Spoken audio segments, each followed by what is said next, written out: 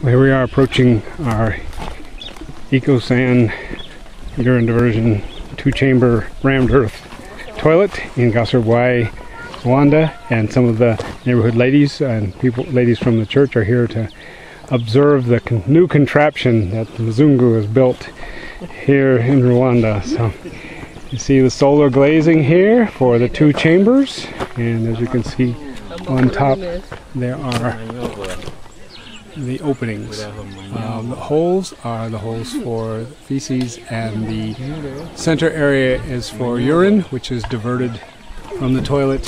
As you can see, it comes out over here through this pipe and goes into a soak pit.